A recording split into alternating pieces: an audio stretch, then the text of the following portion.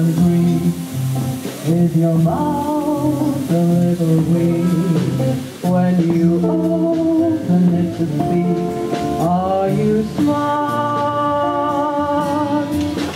But don't change a hair for me.